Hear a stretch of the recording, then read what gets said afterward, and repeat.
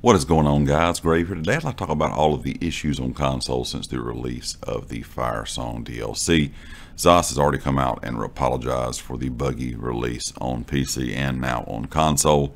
A lot of the issues that we saw that are people reporting on PC, some of the issues I talked about here on the channel, were fixed uh, from the PC launch to the console launch, but now that the game has released on console, there is a lot of new problems kind of popping up. Let's go ahead and hop right into it. First of all, block is not working as intended. Uh, intended, excuse me. It gets interrupted when you dodge, roll, or bash.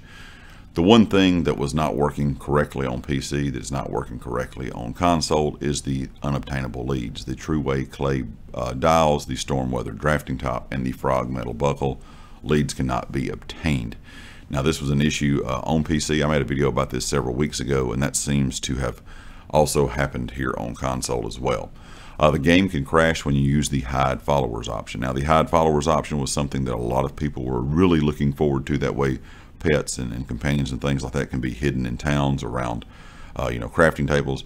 There wouldn't be so much clutter on the screen. A lot of people were hoping that would help with maybe some lag when there's a lot of people in one area if they have a lot of pets and companions active. But right now, if you hit that hide followers option, it seems to crash some people's game immediately. And sometimes if you have the hide followers option on, your game can crash just randomly. So ZOS is recommending that you not use the function until it is fixed. DK standard ultimate issues. Also, some of the banks uh, are not showing the guild store in the uh, menu there. When you click on the bank, you don't see the guild store option. Some guild permissions are not working as well. A lot of um, I know officers and guild owners have been reporting these problems on console that the guild permissions are not working correctly. Uh, siege weapons not disappearing in Cyrodiil after use. Um, so there's a lot of things that we didn't see on PC uh, that were not talked about on PC. And I always try to, you know, even though I play on console here, I always try to make sure that if I see a lot of big issues on PC, that I kind of report them here on the channel. That way you kind of know going forward if you play on console that you're going to see some of these problems once an update comes out. Now, PC did have an update this past Monday.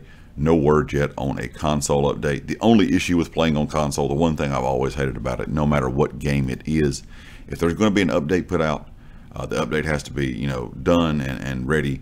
Then the company has to go out and make sure that Sony and Microsoft approve it before they can release that update. Unlike PC, where once that update's ready, it can just go live. So that is the one issue I've always had with uh, you know playing on console, no matter what the game is, because all games have to follow those protocols of you know getting it approved by Sony and Microsoft.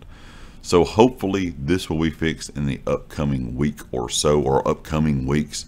Um, if there's any other issues that you're experiencing, of course, make sure that you're reporting them on the forums or on Twitter. That way ZOS can try to get everything fixed as soon as possible and all at once. Anyway, guys, leave me a comment with your thoughts. Of course, if you like the video, hit the like. If you have not subscribed yet, please do so. And I'll catch you next time. Peace.